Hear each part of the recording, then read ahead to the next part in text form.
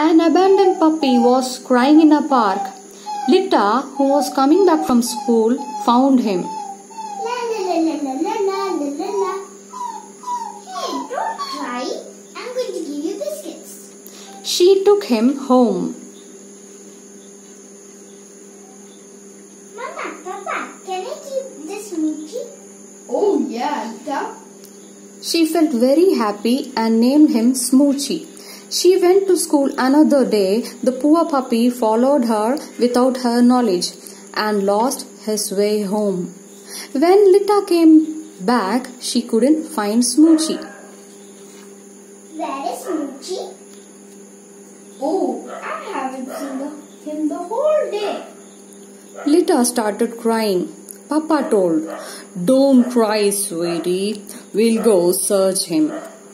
They went out to search Smoochie near the park where they found crying Smoochie. Oh Smoochie, I was finding you the whole day.